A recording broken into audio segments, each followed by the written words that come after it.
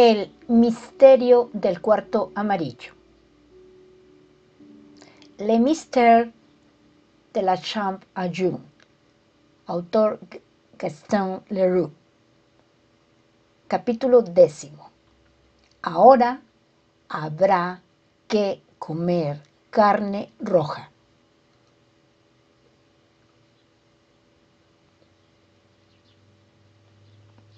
La posada del Torreón no tenía muy buen aspecto, pero me encantan esas casuchas con vigas ennegrecidas por el tiempo y el humo del hogar, esas posadas de la época de las diligencias, construcciones poco sólidas que pronto serán solo un recuerdo. Ellas se apegan al pasado, están unidas a la historia, la continúan y hacen pensar en los viejos cuentos de caminantes cuando se vivían aventuras viajando de un lugar a otro. Enseguida noté que la posada del Torreón tenía dos siglos cumplidos y quizás un poco más. Piedras y cascotes se habían desprendido aquí y allá de la fuerte armazón de madera, cuyas X y V seguían soportando gallardamente el vetusto tejado. Este se había deslizado ligeramente sobre sus soportes, como se desliza la gorra por la frente de un borracho. Sobre la puerta de entrada, un cartel de hierro chirriaba, movido por el viento otoñal. Un artista del lugar había pintado en él una especie de torre coronada por un techo puntiagudo y una linterna, tal como se veía en el castillo de Grandier. Debajo de este cartel, en el umbral, un hombre de cara bastante desagradable parecía sumido en pensamientos algo sombríos, a juzgar por los pliegues de su frente y el fruncido ceño de sus tupidas cejas. Cuando estuvimos cerca de él, se dignó mirarnos y nos preguntó la manera y nos preguntó de manera poco agradable si necesitábamos algo. No había duda de que era el poco amable dueño de aquella encantadora residencia. Cuando le manifestamos nuestro deseo de que nos sirviera el almuerzo, nos confesó que no tenía provisiones y que le resultaría difícil satisfacernos. Y luego de decir esto, se quedó mirándonos con una desconfianza que yo no lograba comprender. ¿Puede recibirnos? Dijo Rouletabille. No somos policías. No le tengo miedo a la policía, respondió el hombre. No le tengo miedo a nadie. Yo le hacía señas a mi amigo para hacerle entender que sería mejor no insistir, pero mi amigo, que evidentemente tenía interés en entrar a la posada, se deslizó por debajo del hombro del posadero y apareció en la sala. Venga, dijo, se está muy bien aquí. Efectivamente, un gran fuego de leña ardía en la chimenea. Nos acercamos y tendimos nuestras manos al calor del hogar, pues aquella mañana ya se dejaba sentir el invierno.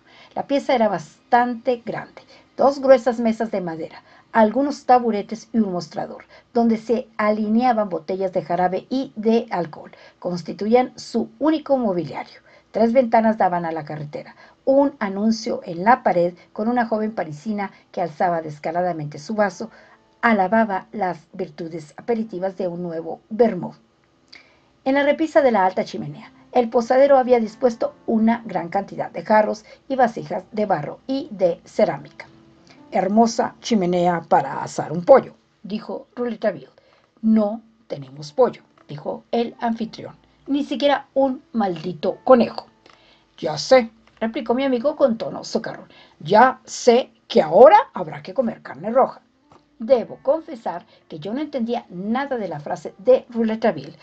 ¿Por qué le decía a aquel hombre, ahora habrá que comer carne roja? ¿Y por qué el posadero, no bien oyó esta frase, dejó escapar una maldición que reprimió enseguida y se puso a nuestra disposición tan dócilmente como Robert Darzac cuando oyó las fatídicas palabras? La rectoría no ha perdido nada de su encanto, ni el jardín de su esplendor Decididamente, mi amigo tenía el don de hacerse entender por la gente mediante frases absolutamente incomprensibles. Le hice esta observación y se sonrió. Hubiera preferido que se dignara darme alguna explicación, pero se puso un dedo en los labios, lo que significaba Evidentemente, no solo que no podía hablar, sino que me recomendaba hacer silencio. Mientras tanto, el hombre, después de empujar una pequeña puerta, había gritado que le trajeran media docena de huevos y el trozo de solomillo. El encargo fue ejecutado de inmediato por una mujer joven, muy complaciente, de admirable cabellera rubia, cuyos hermosos y grandes ojos dulces nos miraron con curiosidad. El posadero le dijo con voz ruda, Vete, y no quiero verte por aquí si viene el hombre verde. Y ella desapareció. Roulettaville se apoderó de los huevos que le traían en un bol y de la carne que le sirvieron en una bandeja. Colocó todo con precaución a su lado en la chimenea. Desenganchó una sartén y una parrilla que estaban colgadas en el hogar y comenzó a batir nuestra omelette mientras esperaba que la parrilla se calentara. Después le pidió al hombre dos buenas botellas de sidra y parecía prestar tan poca atención al posadero como el posadero a él. El hombre de a ratos se lo comía con los ojos y de a ratos me miraba a mí con una ansiedad que intentaba en vano disimular. Dejó que nos preparáramos la comida y puso nuestros cubiertos cerca de la ventana. De pronto lo oí murmurar. Ah, ahí está y, con los rasgos alterados que expresaban un odio atroz, se apostó en la ventana mirando hacia la carretera. No fue necesario prevenir a Rouletteville. El joven ya había soltado su omelette y se unía al posadero en la ventana. Yo también fui. Un hombre completamente vestido de terciopelo verde y con la cabeza cubierta por una gorra redonda del mismo color, avanzaba con pasos tranquilos por la carretera fumando su pipa. Llevaba una escopeta en bandolera y sus movimientos demostraban una soltura casi aristocrática. El hombre frisaba los 45 años. Tenía el pelo y el bigote de color gris. Era notablemente buen mozo. Llevaba quevedos. Cuando pasó cerca de la posada, pareció dudar y preguntarse si entraría o no miró hacia donde estábamos, dejó escapar unas bocanadas con su pipa y continuó su paseo con el mismo andar insolente. Roulettaville y yo miramos al posadero. Sus ojos fulgurantes, sus puños cerrados y el temblor de sus labios nos informaron de los sentimientos tumultuosos que lo agitaban. Hizo bien en no entrar hoy, susurró. ¿Quién es ese hombre? preguntó Roulettaville, regresando a su omelette. El hombre verde, gruñó el posadero. No, ¿lo conocen? Mejor para ustedes. No es buena compañía. Pues viene, es el guardabosque del señor Stangerson. Usted no parece quererlo demasiado, dijo Roulettaville, mientras echaba en la sartén los huevos para la omelette. Nadie lo quiere por aquí, señor. Es un soberbio. Debió poseer fortuna hace tiempo y no le perdona al mundo tener que trabajar como criado para vivir. Porque un guardabosque es un sirviente como cualquier otro. ¿No es cierto? Les juro que parece que él fuera el amo del Grandier, como si todas las tierras y los bosques le pertenecieran. Es capaz de no permitir que un pobre caminante meriende un poco de pan sobre el pasto, sobre su pasto. ¿Viene alguna vez por aquí? Viene demasiado, pero le haré entender que no soporto su cara. Hace tan solo un mes no me molestaba. La posada del Torreón nunca antes había existido para él. No tenía tiempo. Debía hacerle la corte a la posadera de los tres lirios de Saint-Michel. Ahora que se peleó con ella, busca matar el tiempo en otro lado. Es un mujeriego, un depravado, un mal tipo. No hay un solo hombre honrado que pueda soportarlo a ese. Fíjese, los caseros del castillo no podían ver ni pintado al hombre verde. Entonces, los caseros del castillo son gente honrada, señor posadero. Llámeme tío Mathieu. Ese es mi nombre. Y bien, sí, señor, los considero honestos como que me llamo Mathieu. Sin embargo, los han detenido. Eso que prueba, pero yo no me quiero meter en asuntos ajenos. ¿Y qué piensa usted del asesinato? ¿Del asesinato de esa pobre señorita? Vamos, que es una buena muchacha y que todos la querían mucho en el lugar. Lo que yo pienso, sí, lo que usted piensa. Nada y muchas cosas. Pero es asunto mío. A nadie le importa. Ni siquiera a mí, insistió Rouletteville. Ni siquiera a usted. La omelette estaba lista. Nos sentamos a la mesa y estábamos comiendo en silencio cuando se abrió la puerta y apareció en el umbral una anciana vestida con harapos, apoyada sobre un bastón con la cabeza vacilante y mechones de cabello blanco que le caían en desorden sobre la frente mugrienta. ¡Ah! aquí está tía Agneux. Hacía tiempo que no la veíamos, dijo nuestro anfitrión. Estuve muy enferma, a, a punto de morir, dijo la anciana. ¿Tendría algunas sobras para el animalito de Dios? Y entró en la posada, seguida por un gato enorme, de un tamaño tal como nunca imaginé que pudiera existir. El animal nos miró y lanzó un maullido tan desesperado que me dio un escalofrío. Nunca había oído un grito tan lúgubre. Como atraído por el grito, un hombre entró detrás de la anciana. Era el hombre verde, nos saludó llevándose la mano a la gorra y se sentó a la mesa vecina a la nuestra. Deme un vaso de sidra, tío Matthew. Cuando el hombre verde entró, el tío Matthew estuvo a punto de abalanzarse sobre el recién llegado, pero con un esfuerzo visible se contuvo y le respondió, ya no hay sidra. Les di las últimas botellas a estos señores. Entonces, deme un vaso de vino blanco, dijo el hombre verde sin molestarse. No hay vino blanco, no hay nada. El tío Matthew repitió con voz sorda. No hay nada. ¿Cómo está la señora Matthew? Ante esta pregunta, el hombre verde, el posadero, apretó los puños. Ante esta pregunta del hombre verde, el posadero apretó los puños, se volvió hacia él con tanto odio pintado en el rostro que pensé que iba a pegarle y después dijo, Está bien, gracias. De modo que la joven mujer de grandes ojos dulces que habíamos visto poco antes, era la esposa de ese patán repugnante y brutal, cuyos defectos físicos parecían estar dominados por ese defecto moral que son los celos. El posadero salió de la sala dando un portazo. La tía Agnews seguía allí de pie, apoyada en su bastón y con el gato entre sus faldas. El hombre verde le preguntó, ¿estuvo enferma, tía Agnews? ¿Que no la hemos visto desde hace casi ocho días? Sí, Señor guardabosque, solo me levanté tres veces para ir a rezarle a Santa Genoveva, nuestra buena patrona. Y el resto del tiempo me quedé acostada en mi camastro. No he tenido más que al animalito de Dios para que me cuidara. No, la dejó sola. Ni de día, ni de noche. Ni de día, ni de noche. ¿Está segura? Como de que existe el paraíso. Entonces, ¿cómo es posible, tía Agnews, que el grito del animalito de Dios se oyera durante toda la noche del crimen? La tía Agnews fue a plantarse delante del guardabosque y golpeó el suelo con su bastón. No sé nada, pero quiere que le diga una cosa. No hay dos animales en este mundo que tengan ese grito.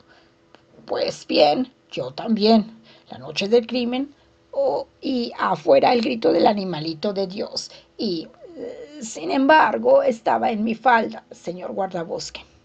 Y no maulló ni una sola vez, se lo juro. Cuando oí eso, me persigné como si estuviera oyendo al diablo. Yo estaba mirando al guardabosque cuando hizo esta última pregunta y o me equivoco mucho, o sorprendí en sus labios una malvada sonrisa socarrona. En ese momento llegó hasta nosotros el ruido de una agitada discusión. Incluso creímos percibir golpes sordos, como si le estuvieran pegando a alguien. El hombre verde se levantó y corrió, decidido, hacia la puerta que estaba al lado del hogar, pero ésta se abrió y apareció el posadero que le dijo al guardabosque, No se asuste, señor guardabosque es que a mi mujer le duelen los dientes. Y se rió.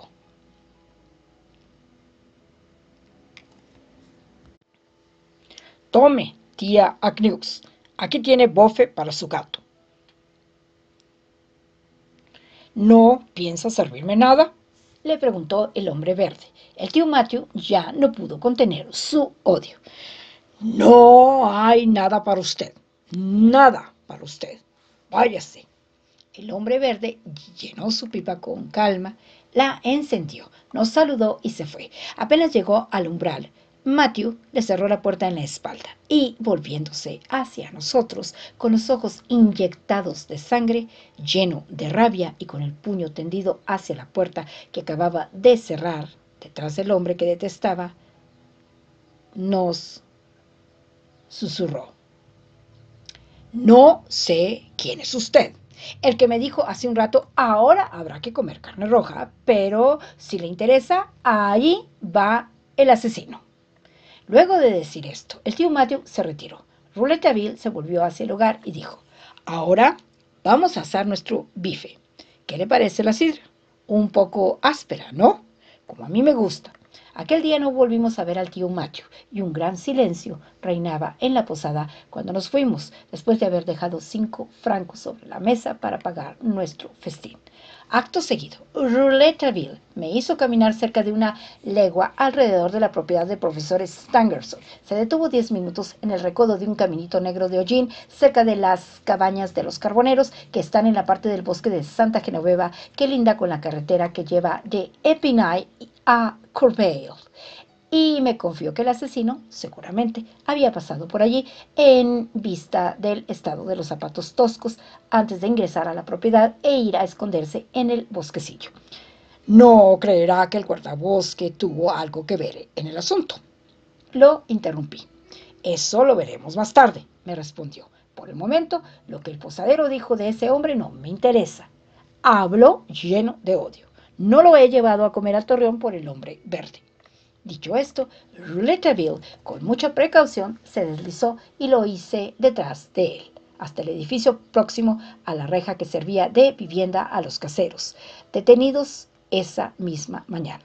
Con un movimiento acrobático que me admiró, se metió en la casita por un tragaluz que había quedado abierto en la parte de atrás y volvió a salir diez minutos después diciendo esta palabra que, en sus labios significaba tantas cosas distintas. ¡Caramba! Cuando nos disponíamos a retomar el camino hacia el castillo, hubo un gran movimiento en la reja. Llegaba un coche y del castillo salían a su encuentro. Rouletteville me mostró a un hombre que bajaba del coche. Ese es el jefe de la Sûreté. Vamos a ver qué es lo que tiene Frederick Larsan entre manos y si es más listo que los demás. Detrás del coche del jefe de la Sûreté venían otros tres coches repletos de reporteros que también querían entrar al parque, pero fueron apostados dos gendarmes en la reja con órdenes de no dejar pasar a nadie. El jefe de la Sûreté calmó la impaciencia de los periodistas, comprometiéndose a ofrecerles esa misma noche todas las informaciones que pudiera sin entorpecer el curso de la instrucción.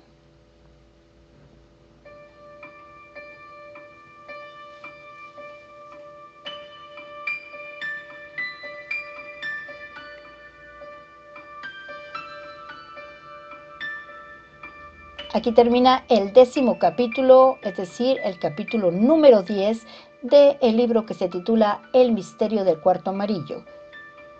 Le mystère de la chambre à jaune, cuyo autor es Gaston Leroux. Faltan solo 16 minutos para que sean las 2 de la tarde. Y hoy es jueves 9 de diciembre del 2021.